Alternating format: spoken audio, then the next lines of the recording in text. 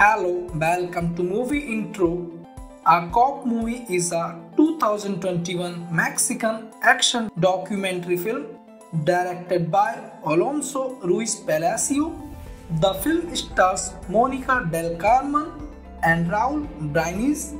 This documentary works the line between fact and fiction, delving into corruption in the Mexican police through the experiences of two officers.